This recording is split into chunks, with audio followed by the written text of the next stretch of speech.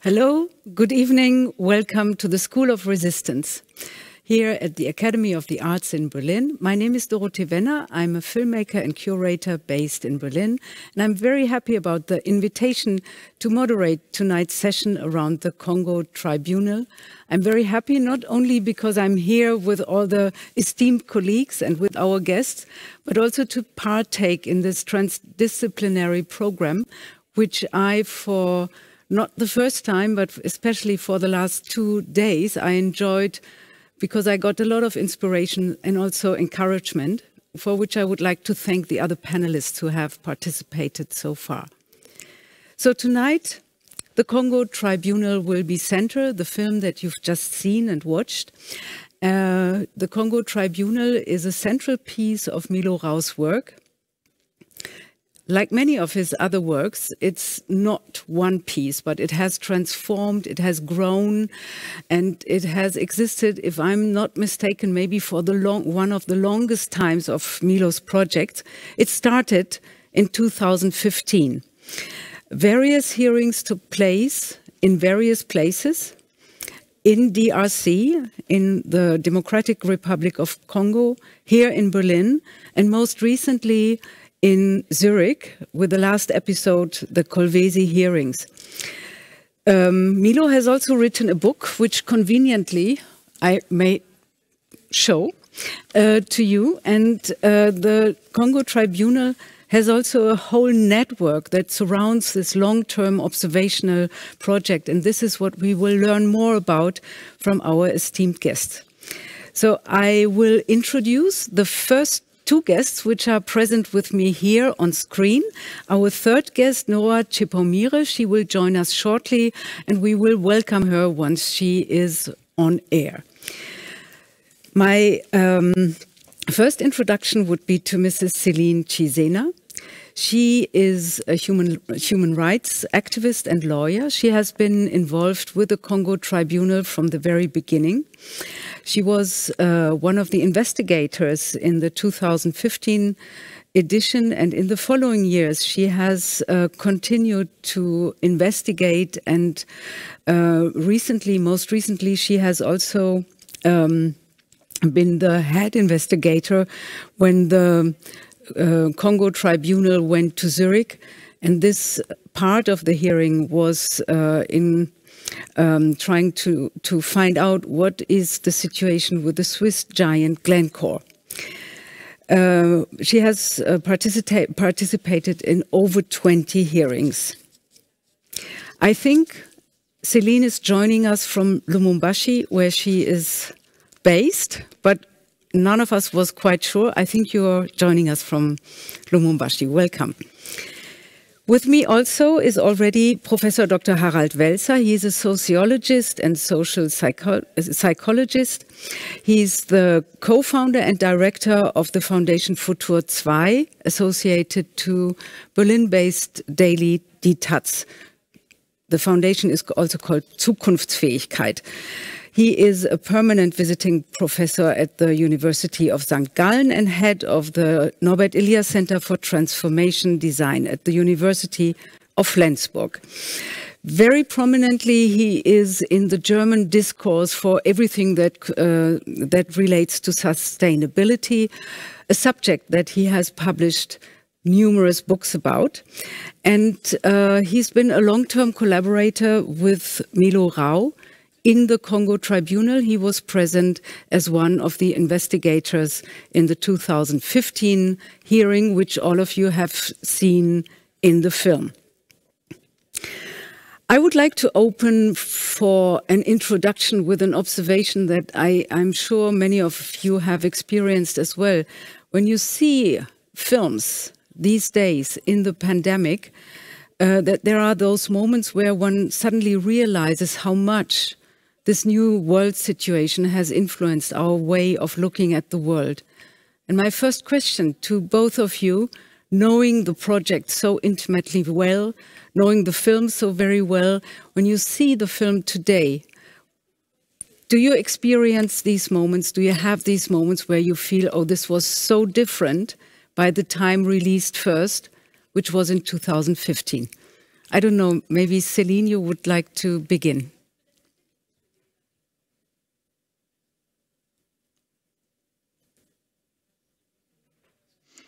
Thank you very much for giving me the floor. I would like to greet everyone most warmly. So when it comes to this COVID-19 pandemic, it is true that this has changed things a lot. And of course, the Congo Tribunal was supposed to go on, was supposed to travel on and be held in February here, but it was then postponed due to the pandemic as well. Because, of course, due to the pandemic, we were not allowed to meet up with multinationals and governments, so we couldn't push things forward because of the lockdown and because of the different ways of uh, coping with the measures that were taken so that people don't get in touch too much in order to prevent the disease from spreading out. So we've got a lot of delays. So we had to delay and postpone quite a number of things. So it would have been successful if we had been able to hold the uh, Congo Tribunal here in February. Mm-hmm. Celine, I'm sure we will hear much more about this, what happened between the first tribunal and the uh, uh, hearing that was supposed to happen end of February, uh, so this very month.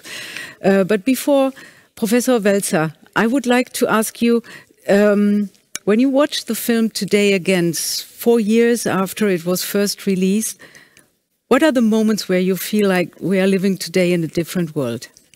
Hmm. It's an interesting question because if you if you have been part of a film, it's interesting to see it again.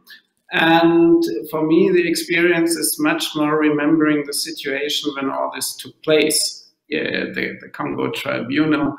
Um, if I if I watch movies uh, that have nothing to do with my situation or my experience or whatever, um, I sometimes wonder how people behave when they gather or when they shake hands or when they hug uh, whatever.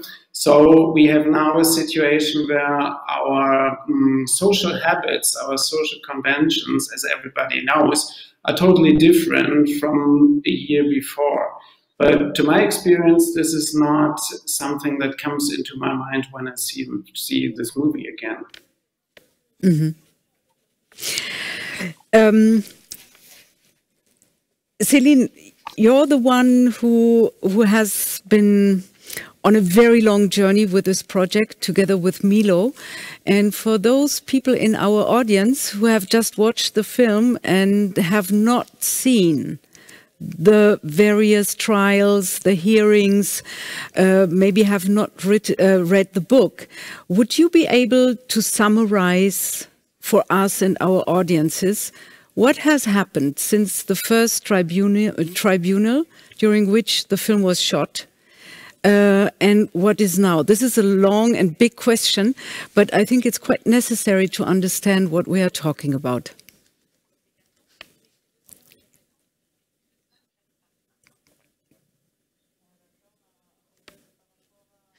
Yes, of course. I'd be glad to do so. So when it comes to the Congo Tribunal project, it all started out in the beginning of 2015. And of course, I also contributed in the second phase, Lubumbashi. And when it comes to the first stage of the project, I am aware that it was more focused on um, crimes and mm -hmm. wars in East Congo and, and the exactions of the mining companies there. But then in Kolwezi, in the Congo Tribunal, in the second phase, we rather investigated and looked into questions of corruption, of pollution, environmental pollution,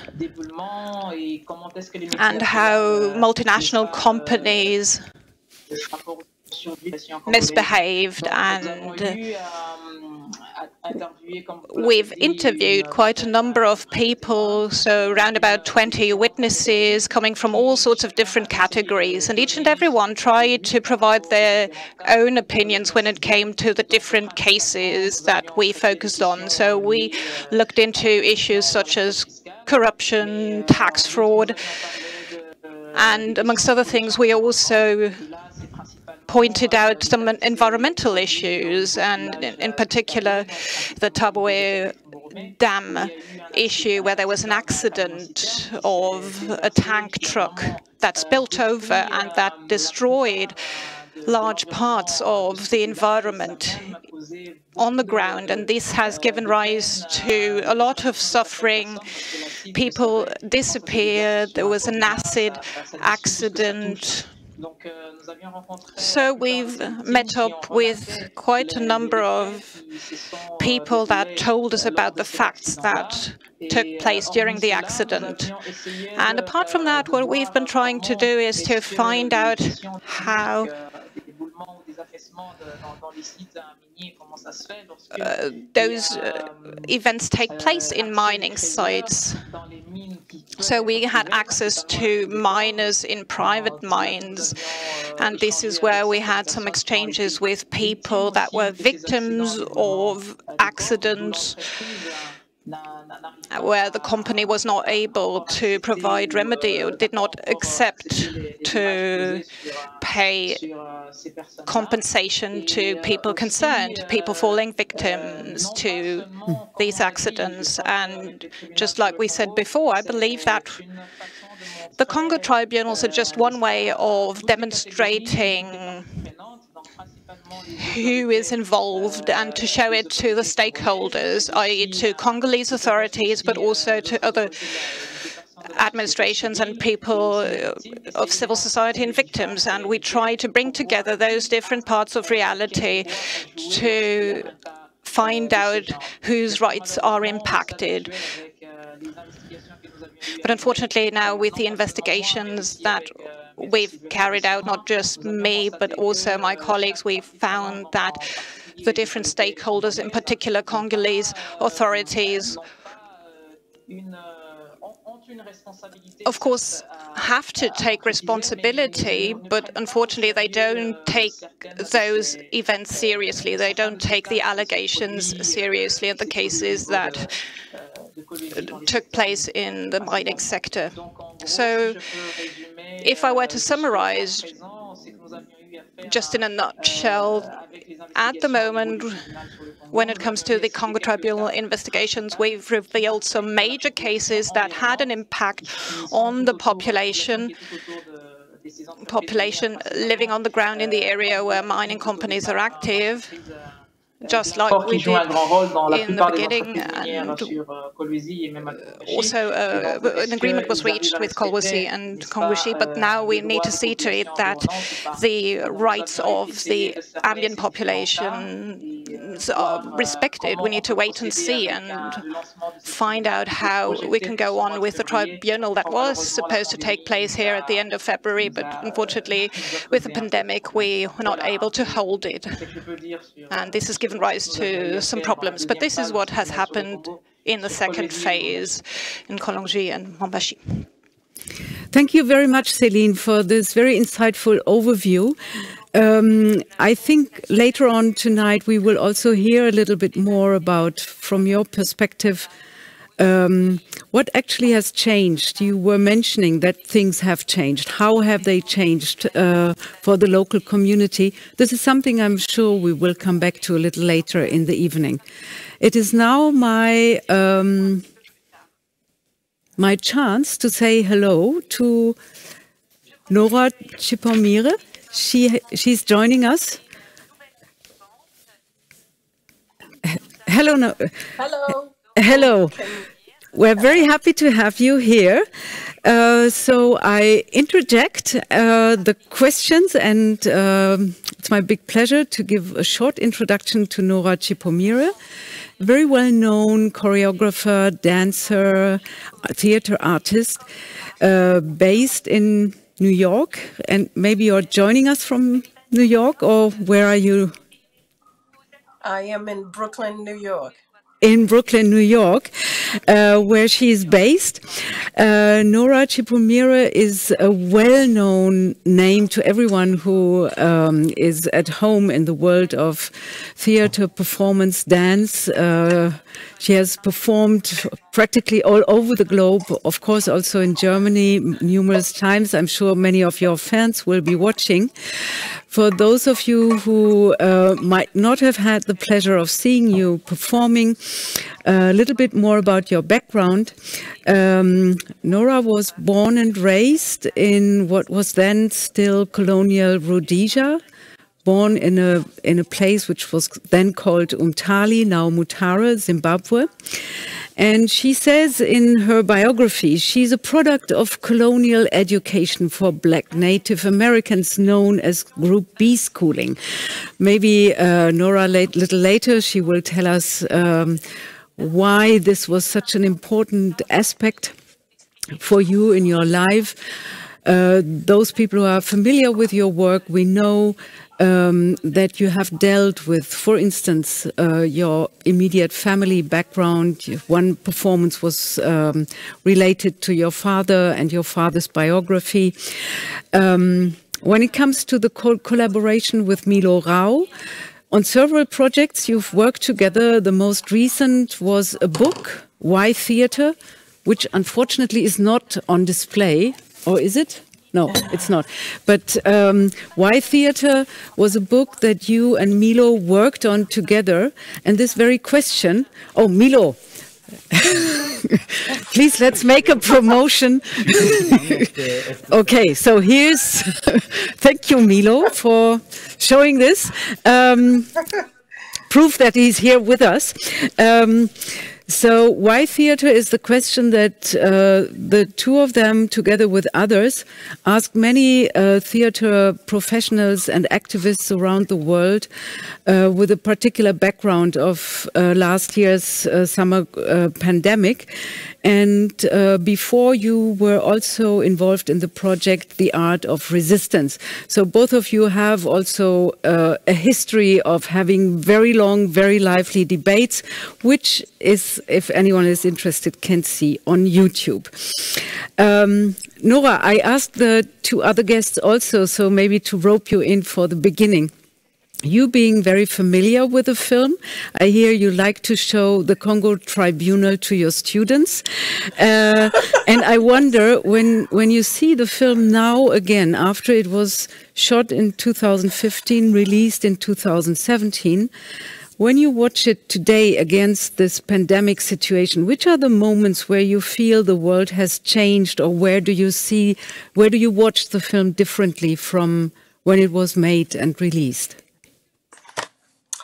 Um, wow, that's that's that's uh, uh, hello everyone, and thank you for having me. What a what a uh, beautiful question uh, because it's also extremely horrific. Because when I watch it now, I don't feel that the world has moved. I think we have moved closer into the heart of the darkness. In fact, I, I think we are right there. Uh, for me, there's uh, very little distance. When I watched it before I was uh, traumatized uh, as as an African who grew up through a revolutionary struggle and kind of know what warfare and, and, and death and dying looks like. Uh, so to uh, when I when I did see it, I, I thought the audacity of this crazy white man to put uh, this uh, for the world to see. Um, and my students uh, also uh, have uh, you know equal equal rage uh, which I think that is exactly what Milo wants us to feel is is that rage. So watching it now in in, in this period of the pandemic, the rage is even more uh, multiplied. I, I- you know I, I, I feel less of a, of, of a distance. Uh, that the gap has closed. That we are inside of of, of, of the darkness now. Um, so yeah, horrors upon horrors, if I may quote that uh, uh, Joseph Conrad guy, uh, horrors upon horrors. It's it's it's yeah. I don't I don't I don't feel that I could separate uh, I, I feel the drama, I feel the anxiety. Um, also in, in, in, in New York, of course, um, uh, I, I mean, the world knows uh, just uh, how poorly uh, the pandemic has been managed. Uh, so constantly surrounded by death, you know, from just hearing sirens go off endlessly, and even now, uh, endlessly, and seeing people being moved out of their houses uh, on stretchers um, to even then having you know uh, people around me whose family members have died because of the corona you know like uh, you know it's become a daily kind of bulletin who's still living um, yeah, so as kind of an effort to uh, go into answering your question, and um, by the way, I, I am a product of the Group B education for uh, natives, not for Americans, for African natives. Um, maybe there's a typo in my bio um, part of uh, what that education system was was uh, the British South African company was very clear uh, that the only way they were going to use uh, the natives and you know instead of annihilating them at first they thought let's just annihilate them and get the land. Uh, and then they thought oh okay but maybe we could use them as labor. But then maybe we could have them like skill up from just feudal peasants to something. So the education that they proposed um, uh, and probably is still in practice today has a lot to do with how to manage uh, white lives in the in the in the colonies, how to support white lives, how to work in the houses, how to work as farm hands, and all that kind of stuff. So uh, it's kind of important me for me to remind the world that uh, no matter where I go, um, I am a product of an education that was designed to make me a housemaid. You know, to be to to to to take care of the kitchen and the home, uh, and just reproductive labor.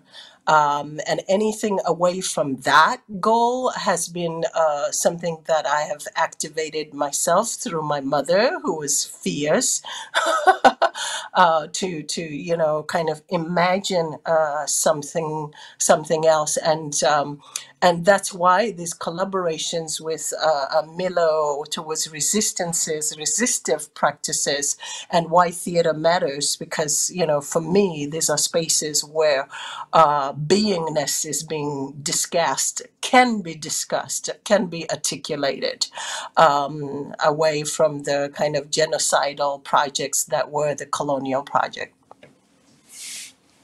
Thank you very much, uh, Nora.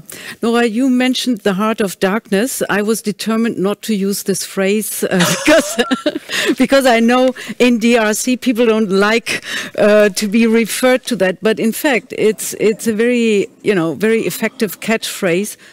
Um, for explaining why DRC and everything that's happening there is so far away.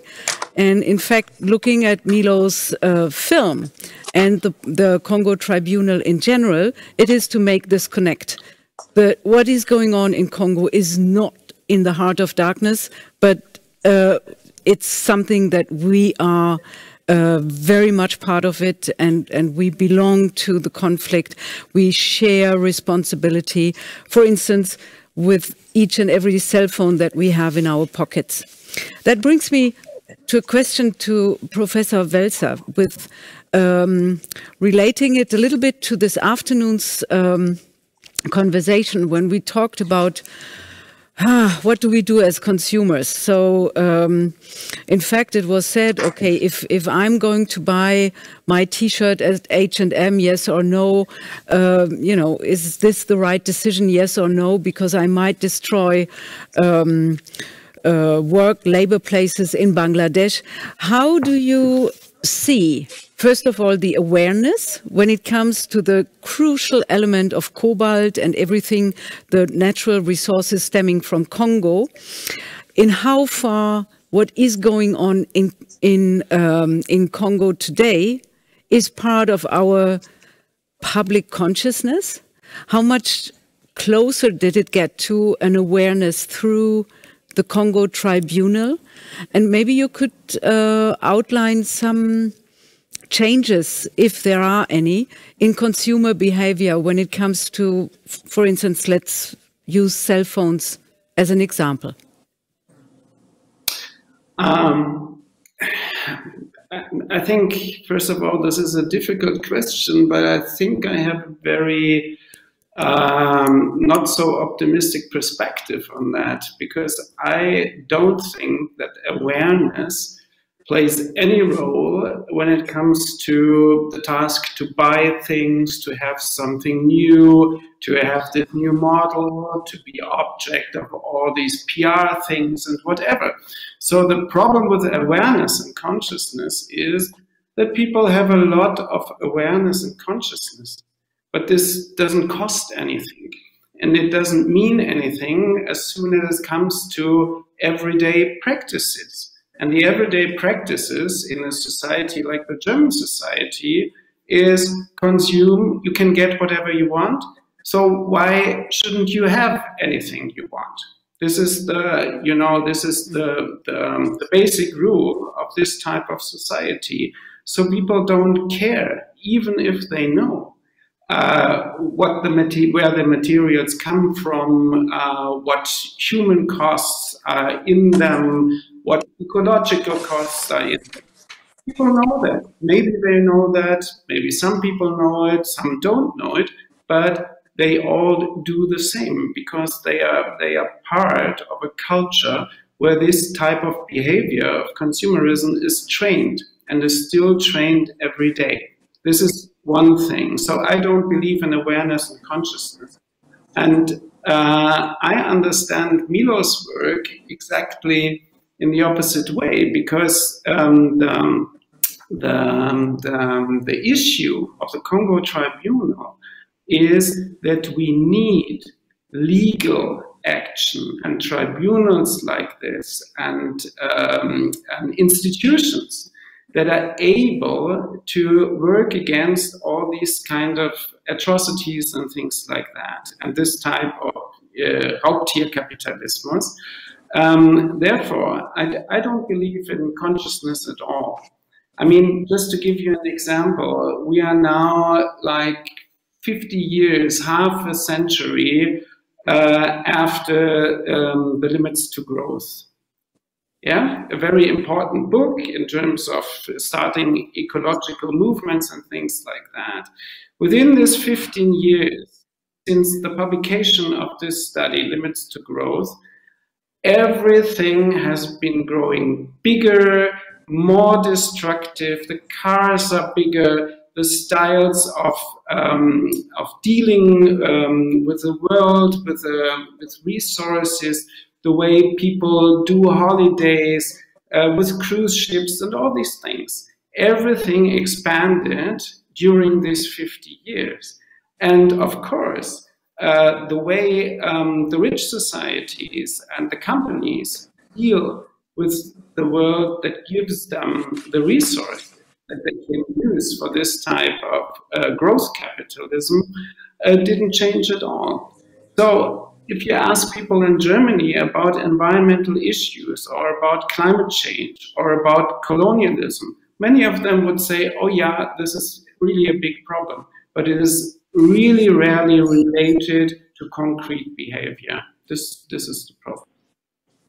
Yeah, thank you very much. I find this very interesting that this afternoon also it was said, well, that doesn't really matter. Uh, so exactly your same position. What we need is structural changes, legal changes, uh, and this would um, this would be very interesting to hear because this is exactly where the Congo Tribunal was trying to get to. So to lead to a, a, structural change, to a legal change. This would be my question, uh, maybe particularly to, to Celine, to find out where maybe in the Congolese legal system, something has, has moved. And looking also at the hearings in Switzerland, but also uh, in, in Germany, where has uh, maybe the Congo Tribunal made it possible that some of the treaties, and particularly against the current situation where we have this massive, massive plans since 2019 ongoing, that Germany becomes possibly the biggest investor ever with foreign investment in the Democratic Republic of Congo, even larger investments than in uh, than the Chinese uh, uh, are currently underway to do. How does how does this fit together? Uh, the findings on the one side, the objections, the outcomes of the hearings, and where and in which institutions did you see any any cracks or movement maybe initiated through the Congo Tribunal?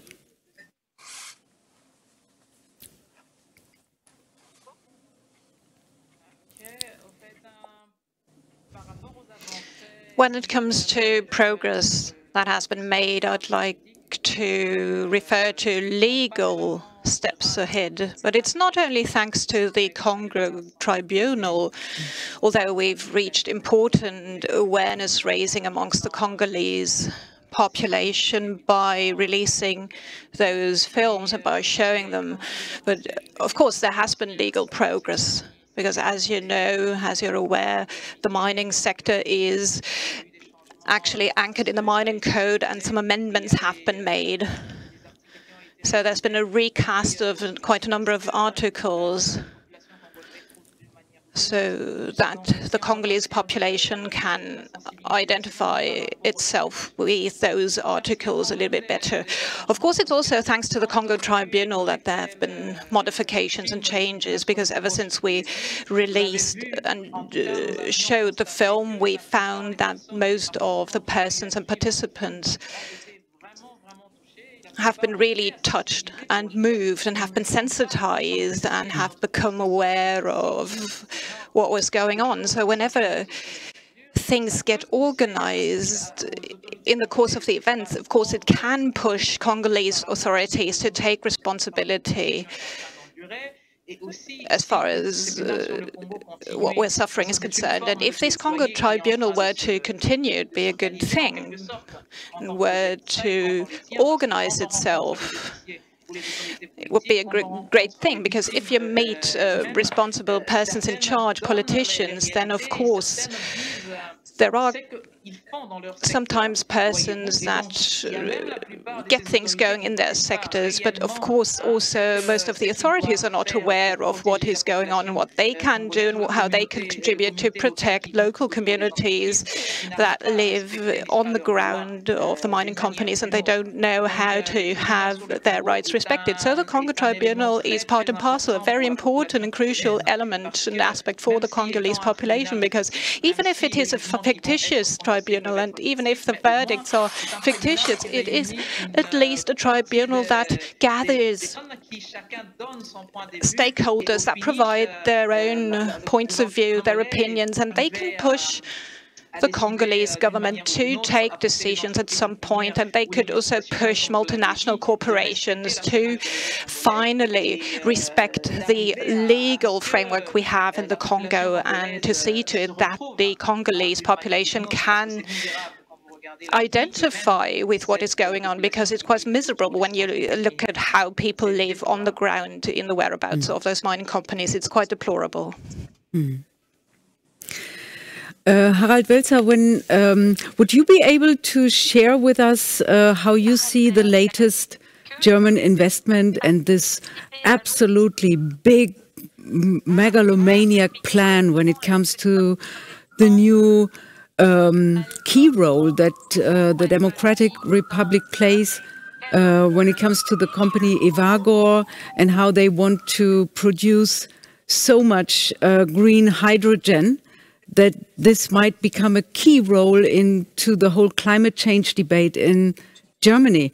Uh, how, how do you see the situation of two, three years back when Germany was a smaller investor in DRC as opposed to today? What consequences to take from what we've learned and seen and heard in the Congo Tribunal and this very moment, is it time to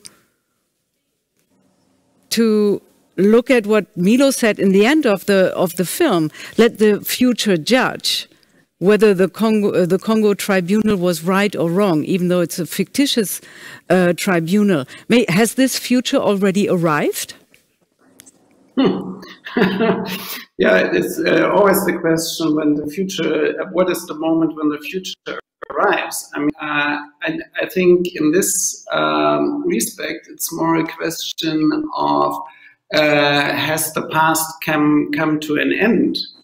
And I think we would agree um, to say no, because we are still in the mode of dealing with the world, with the world and with other populations in the very, from the logic, in the very same way it was done 100 years before or 150 years before.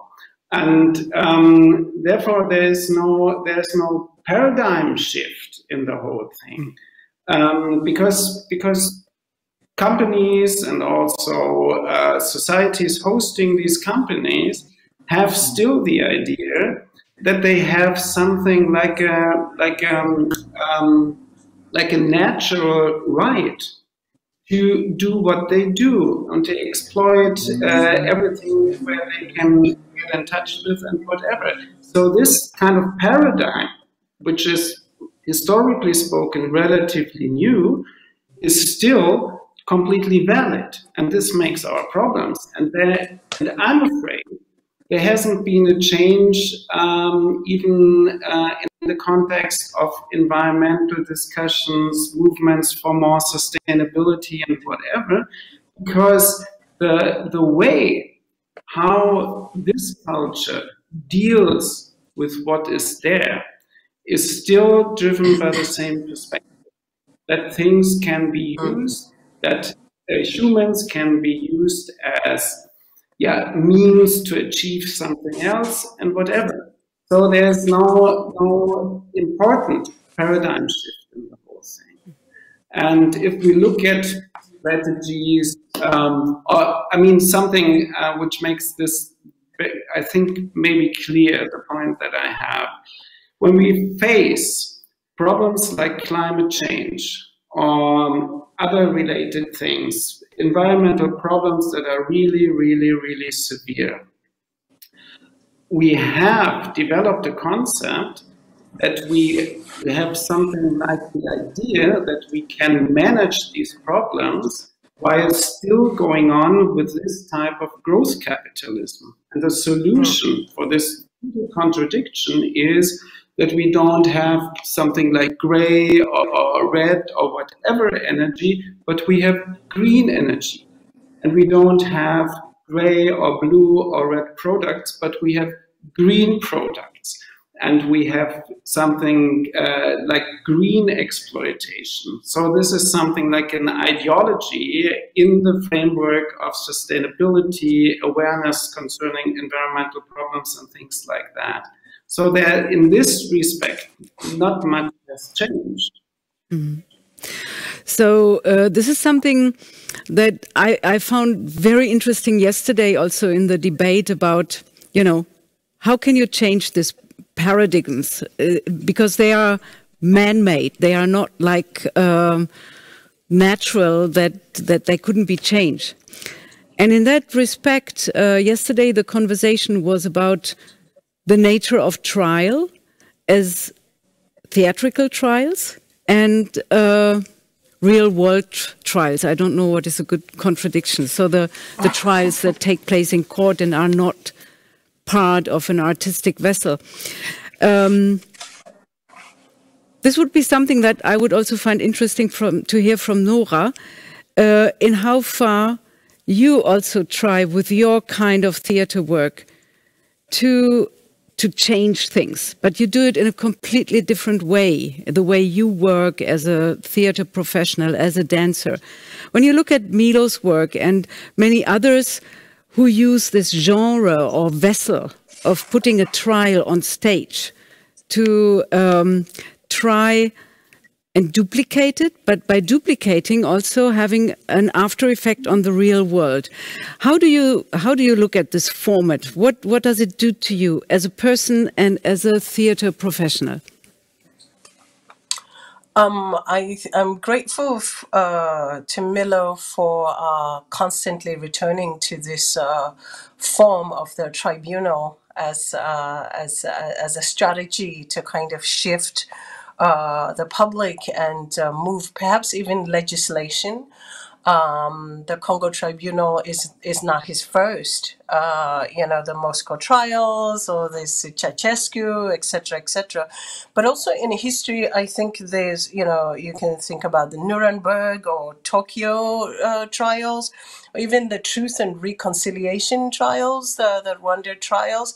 Um, this this it's it's it's a theater that is both living in the world of uh, uh, uh, the state uh, but uh, implicates and affects the public in, in, in extreme ways. The law lives with us. So, in my own practice, I, uh, I try not to separate uh, the us and them.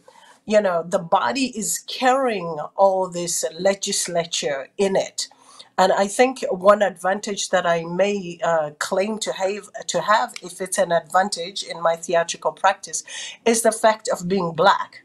You know, I can bring the accusation by my mere presence. You know, I am in the space, so therefore I already accuse.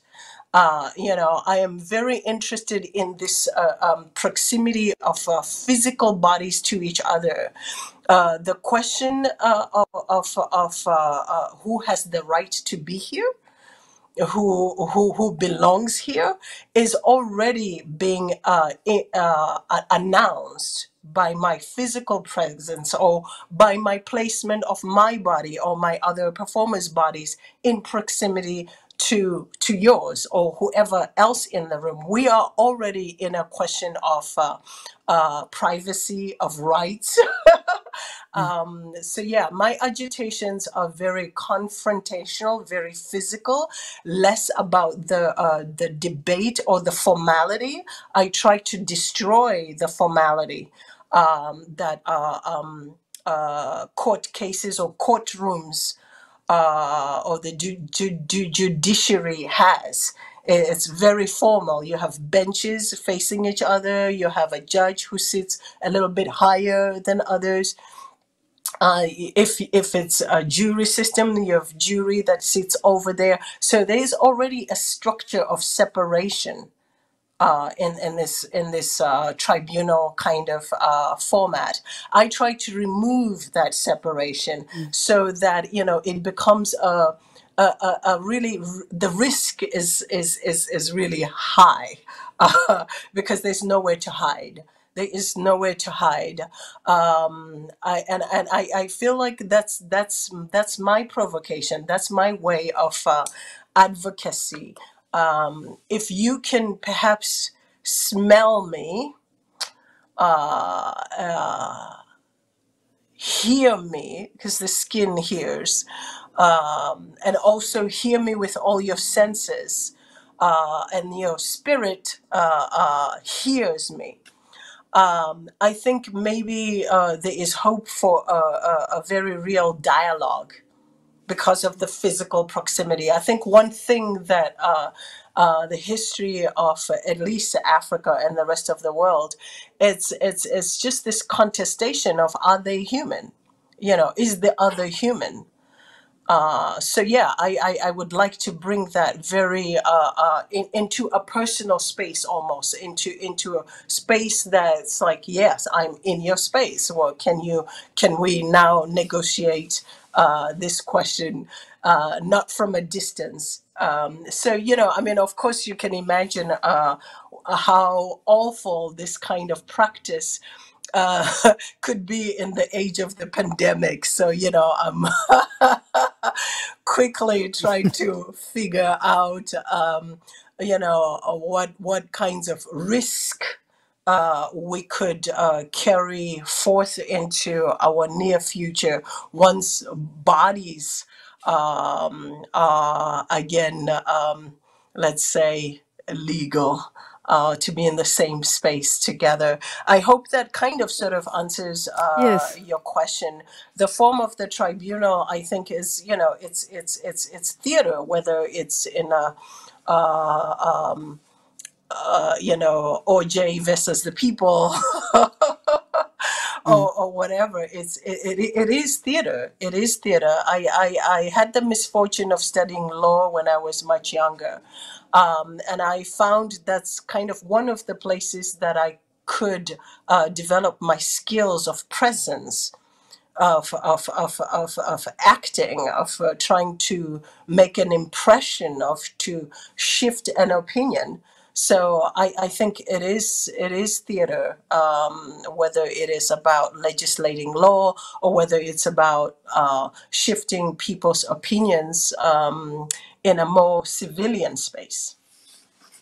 Thank you very much, uh, Nora. I find this inspiring, and I would try to knit few ideas together, uh, and also looking at an interesting question coming in from from our audience.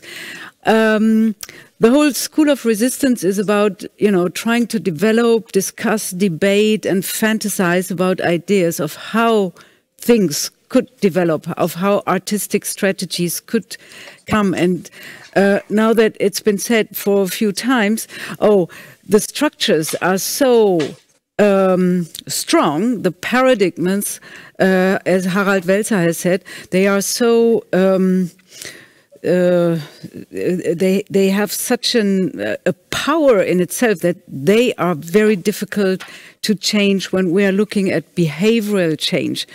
Now, what is it if we are looking at the at the strategy that Milo uses sometimes, that is cooperating with the institutions, so that maybe the behavioral change comes through cooperating with artists uh, inside the institutions. This relates, if I'm getting the question correctly, that is addressed to Nora and Celine. What can art do? What is impossible in the insti- institutionalized legal structures, and how art and legal structures and other institutions can work together? So I think this question comes from the same point of uh, thinking of how uh, maybe we're we are going and looking with new strategies into new sorts of maybe controversial, maybe cooperative ways of working with uh, institutions more than only looking at changes in the audiences. Who? Um, uh, Celine, uh, uh, maybe I will go first, or if you want. Uh, si vous le souhaitez, ou si vous voulez prendre la parole, allez-y. Feel free, go ahead. uh, thank you.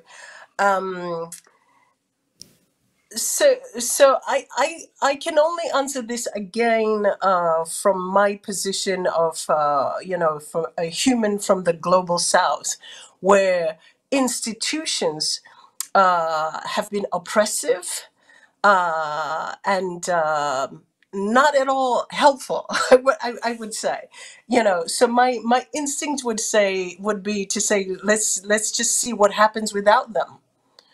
Uh, you know, so in, instead of cooperating uh, with institution, I mean, I mean, I think when you're talking about uh, institution or this question is really a, a global north kind of question where institutions actually work you know, if you look at my country, uh, Zimbabwe, which has been uh, uh, happily allowed uh, to die since 1980, you know, I can I cannot uh, see myself being in a in a position where I um, I can think of how to uh, support an institution towards its survival. I would rather they all disappear and uh, and and trust that the individual humans have the wherewithal, the stamina to actually survive outside of institutional structures.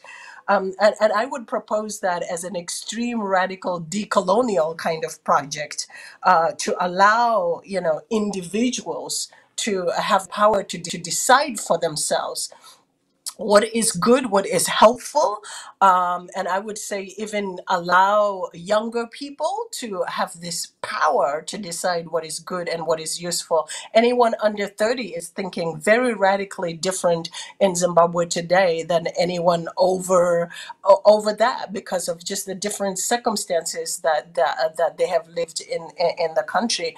I would allow um, young people to uh, have much more presence months in in, in determining anything, uh, whether it's education or how the bus system uh, runs or works. You know, I I would actually trust that the young people uh, could even do this better. I would also even trust that the rural populations, the rural populations, know how to uh, deal with um, the so-called climate change, which again I think is a problem that the West created and that Africa now just has to deal with because we are part of the planet. But I would trust that uh, a great deal of the rural populations know how to um, uh, uh, um, propose ways that are sustain that that can sustain the universe perhaps not necessarily sustainable in the casual way but can sustain humanity. I would also put a lot of trust in in in, in women because women always just know um, what is uh, what is uh, better ways to to deal. So I, I would probably I'm trying to avert, sidestep this step or this uh, question of uh, being uh, co-opted by institutions and say perhaps I don't trust them. Perhaps their time, the time for them to disappear and die, and new ideas come up is is now. Um, so yeah, I would say uh, a death for all kind of institution is is, is a good one. Okay, I see Celine laughing. Uh, please share your view on uh, on what Nora has just been said, and maybe also come back to some examples of what, uh, for instance, you mentioned earlier the, the the case, the hearing, the investigation surrounding this truck, and what happened around the truck um, that that had a lot of very negative effects on the people who were um, affected by the sulfur that was spilled out of this truck. Let's look at that case, perhaps, uh, or any case that you you find uh, illustrative. For instance, through your investigations, through your hearings, did you see any improvement? For instance, let's say in the local police, with regards to the living conditions of the the people who who you, whose interests you, as a human rights activist and lawyer, try to protect.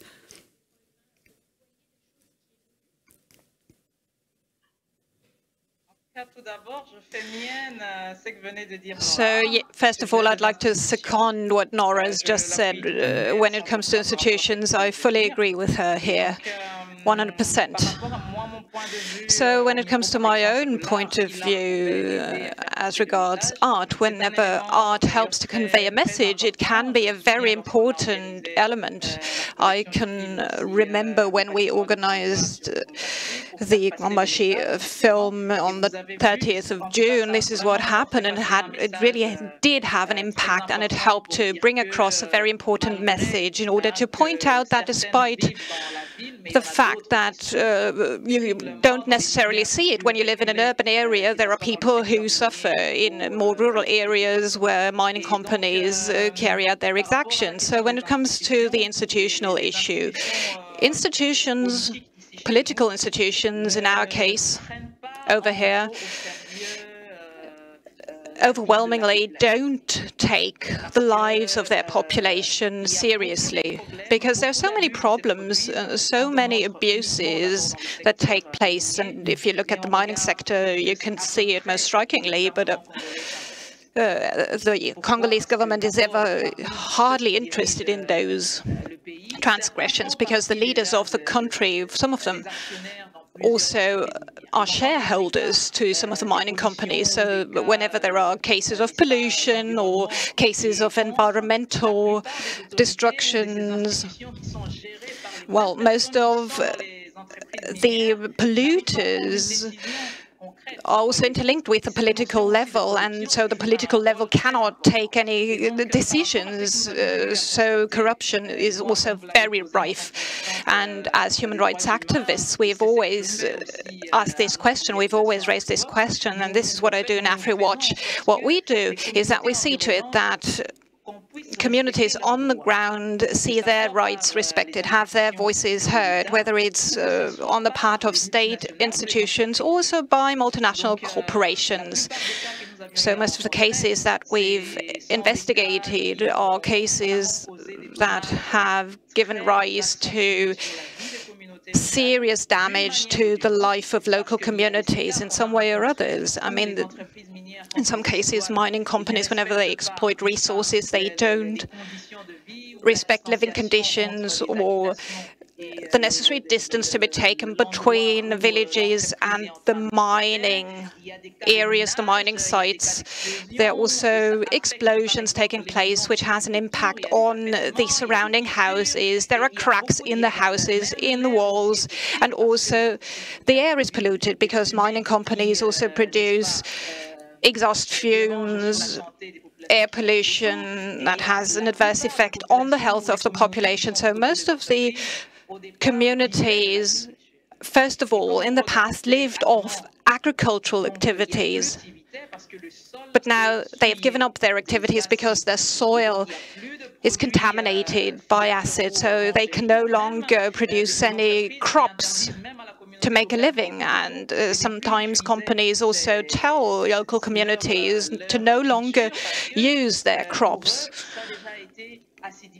because they've been so much contaminated, and this concerns water for people living alongside rivers that were polluted by the acids released by companies, and fishermen that fished in the rivers no longer do so because there are no longer any fish in there. So there's so many, all sorts of different cases like that where mining companies don't respect the rights of those persons. And when you get in touch with victims, it can be very difficult, can be very delicate. And we are human rights activists. Whenever we become active, what we try to do is that we showcase reality the way it is and that we try to demonstrate what people's lives look like.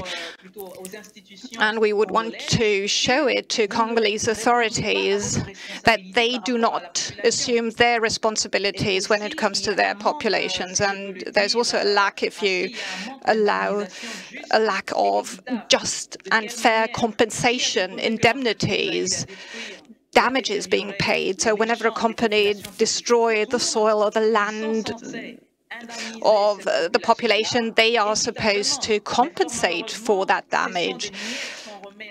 But often they only give crumbs to the population, and there are people living off those crumbs, so they're just being paid small amounts of money that they cannot even live off, they cannot even make a living off their daily lives. So institutions in the Congo in particular, they are not that much concerned about the problems encountered by their population.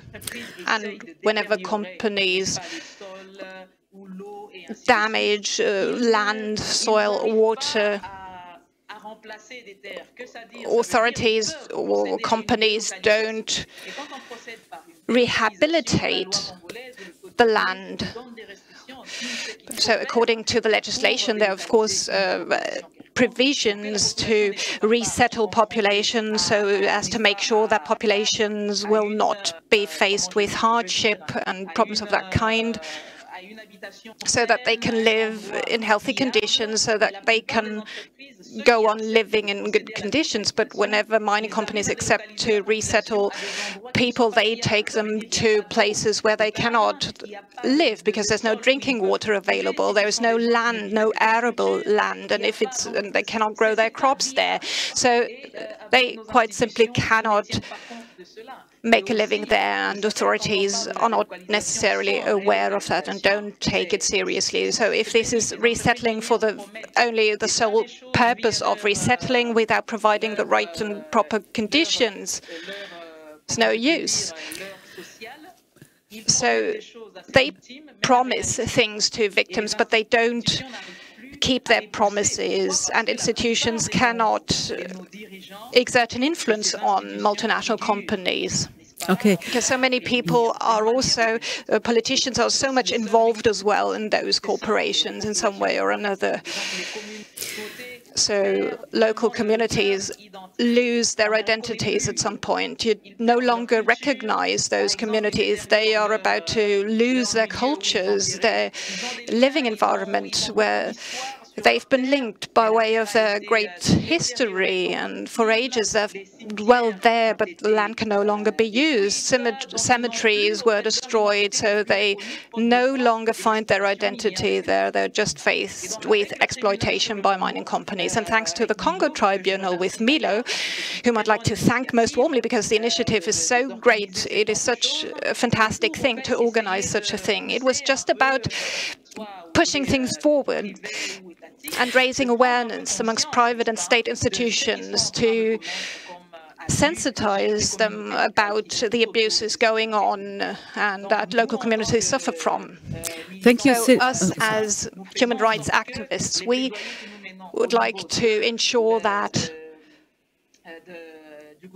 we carry out advocacy work um, towards governments and multinational companies so that they respect the lives of the people living on the ground. So I believe that I've uh, answered quite vastly, quite comprehensively to your question. Yeah, and with good reason. I think uh, from what you've been saying, from what the film says, from what we've heard in the hearings, uh, that your perspective has been only more enlightened. However, I would like to also hear Harald Welzer's view on this. When we hear Celine talking very desperately about uh, the situation of there is no room, nothing is really changing when it comes to the collaboration uh, with institutions in Congo. How do you see the situation in Germany? Do we need to make a distinction between maybe private uh, institutions like entities like companies, multinational companies, and other other bodies where you potentially see yeah, there there is hope. These institutions could change, be it the jurisdiction, uh, be it the police, uh, be it. I, I, mean, we cannot just talk about the institutions without being a little bit more specific uh, about which institutions we talk. So, are there at least any institutions where you see there is room to move? That, for instance, the situation in Congo might be. Um, become uh, something of a of a debate where, from this side, from the official side, from the institutional or MNC side, things could change? I'm, I'm, i find it really important to, to, differentiate institutions because I think companies are no institutions. Companies are companies uh, to, to do businesses in their way. And institutions, state-driven institutions, have, in an ideal sense, uh, the, the function to prevent these companies from doing illegal things and to protect people and whatever. So therefore, I think the idea that we have to get, get rid of all institutions is completely misleading because what happens without functioning institutions is exactly what Celine has described. I mean, that these mining companies can do what they have done is because of the lack of functioning institutions. This is the thing. And to come back to, to how I understand the work of Milo and this type of theater is not duplicating institutions but is to invent institutions that we need in the 21st century that don't exist. I think this is the crucial point. Um, and this makes it interesting because as long as, as long as we don't have this institutions, like the General Assembly, to, to, to mention another uh, work of Milo, uh, where large bodies of existing people are not represented in parliaments normally. Here's the General Assembly where we can show what would happen if other groups of people are represented in the parliaments in, democratic procedures. This is something like designing or sketching institutions that are necessary uh, in the states um, we we are in now in the 21st century. Same with the with the tribunal, and I think uh, with the Congo tribunal, and I think this is really important because we cannot imagine a world without institution. Uh, uh think of, of people if you have something like you know rural people living in rural areas and have an idea of sustainability or whatever. But what is there relate there with the relationship between men and women? What is the relationship to violence that are exposed by men to children or whatever? So we need institutions exactly to protect uh, people who cannot protect themselves against the violence of, of others. So therefore, it's really, really important to invent and establish new institutions that can deal with the problems we have now. For, for example, similar to the, to the uh, court in Den Haag that models the Congo Tribunal, we would need on a global scale a court for in, in environmental justice that is not existing or for environment uh, for global tax paying and things like that. So we need like that. And I understand this type of theater as model building for these necessary institutions. Hmm. Nora, would you like to um, react to that? I, can I just jump in? Yeah, yes, please. I, I, I just want to say uh, for new institutions to be born, the old ones must die. So it's not just, uh, you know, evacuate the space and not uh, put in something else. I want to just clarify that. I think the nature of human beings is always to uh, create ways in which uh, uh, safety, uh, you know, is happening and, and do no harm. I think, you know, uh, in, in my culture, at least, the less intervention from institutions, whether they be governmental or non-governmental, uh, uh, would would be better. So I, I, I think um, uh, yeah, we, we have to also not uh, uh, use the universal whatever kind of language. The global north has different ways of functioning from the global south. And so to be hyper specific about each region and what they need and to allow the um, populations to decide from, for themselves is what I am advocating. And, and I am saying that uh, whatever structures they built, whether you want to then use this uh, word institution, whatever structures they want to uh, create for themselves to protect their well-beingness, whether it's uh, uh, safety or whether it's a food security or water security.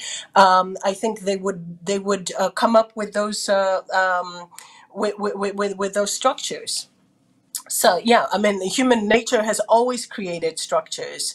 Uh, the formal structures that come with government, uh, you know, even schools, you know, education. It doesn't need to be the, the way it is. You know, we can get rid of universities, but that doesn't mean people won't learn. People will still be able to learn. We'll figure out different ways of gathering and exchanging and sharing information. So I'm being rather Africanist in this. Um, I'm taking a look here. I don't think we have so much more time, but the question from the audience that comes to Celine, uh, I think might wrap up. Even though I would like to continue talking about this, it's it's getting like really really interesting and important. I find, but maybe to come back to a specific uh, example. The question to Celine goes, how do you organize the hearings for the ongoing Congo Tribunal in Kolwezi? Do you have support by the official legal governmental structures or do you reject such collaboration?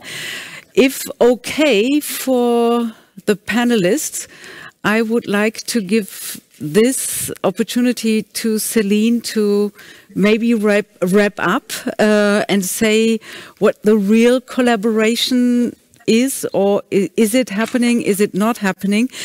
Uh, and hoping for us to continue at this very crucial uh, moment with the School of Resistance tomorrow after uh, Celine tells us what's in reality happening in Kolwezi.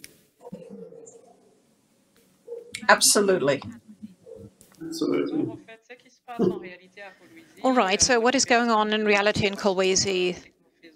So, of course, we interact with provincial authorities, but whenever you try to take action, of course, you have to get in touch with official representatives, with authorities, in order not to uh, disrupt uh, public order or to provoke trouble here or to prevent us from holding the Congo Tribunal because we have to, of course, make our pleas towards these institutions themselves because if we want to be as efficient as possible, we have to also learn from them and explain to them what we are planning on doing. And it's on this basis that we can then carry on with the tribunal. And this is what we've been doing when we went to Kolwezi in order to interview the different victims.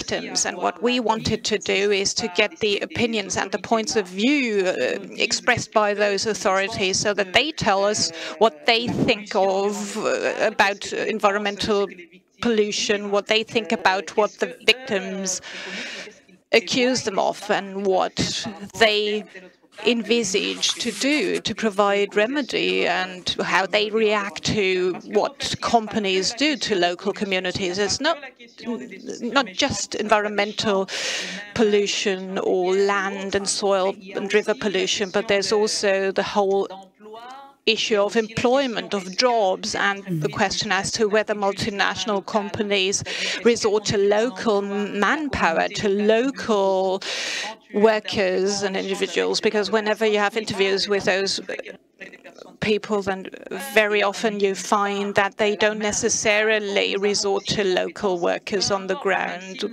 who also have their skills, and even if they didn't go to university, they can nevertheless be employed in different categories of services. But most of our authorities are not that flexible, to be honest. And in particular, when it comes to Kolwezi, when we wanted to talk about questions regarding mining. And as I told you right in the beginning of this talk, most of our authorities are also somewhat intertwined in the actions of mining companies, and there's a high level of corruption. And so sometimes they'll help one another and whenever we present what we are trying to do. I can remember that we met two three ministers in charge and each of them, of course, told us about the beautiful things that they were going to implement uh, and that they knew what they would do in the face of pollution, that they would compensate the population concerned and affected, and they would push and put pressure on the companies. But when you look at what's really going on in reality, then you'll find that no such thing is happening and that nothing much is actually carried out in reality. So in, when you want to push forward things here, over here, you need to have approval of authorities. Of course, first of all, you have to explain very clearly to them what we're planning on doing. And in the case of the Congo Tribunal, we told them that we are not a tribunal that will uh, pronounce their verdicts that will be applied, but it is just uh, some sort of uh, an advocacy work we're carrying out, and that we would like to gauge their opinion regarding all sorts of different issues when it comes to uh, underground mining, uh, pollutions, problems there, whether the government is interested in those facts, and the question that you just raised about the accident in Taki, whether the government, the provincial government, was actually concerned about those things and was actually planning on assisting those victims because to be honest victims also suffer a lot of hardship they lost limbs and they are not in a situation where they'd be able to do a lot for themselves. So in order to wrap things up in a nutshell, because you're asking me to do so, I can only summarize into three words by saying in the Democratic Republic of Congo, and it's not just here in the Congo, but it also holds true for other countries where there are cases going on uh, like ours. But in our case, the Congolese population cannot identify and they cannot benefit from natural resources, although we're living in a, in a very rich, vast country, very rich in mineral resources, but overall the Congolese population doesn't benefit from it. It doesn't trickle down to the population. They don't benefit from mines, raw material, riches, resources.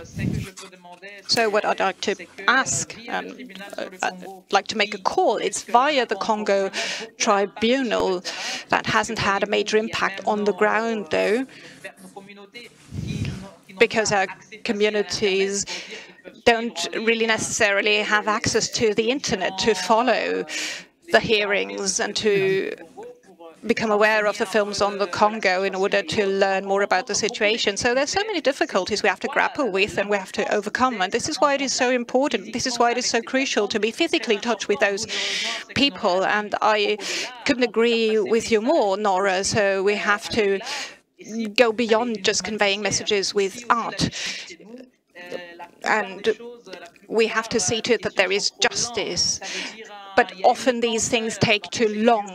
So legal action takes too long. Judicial processes often take years and years on end without victims being compensated, victims dying in between, victims losing hope because they no longer believe in having their rights recognized at some point.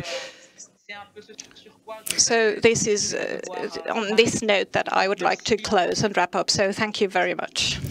Thank you very much, Celine. Thank you, Nora and Harald Welzer. Um, thank you all who joined us for this very interesting panel from which I'm taking uh, that the strategies that are at the center of the School of Resistance that need to be developed uh, that there is a huge need of being very, very site specific and exactly looking at what strategies, with who, in which institution, in which company.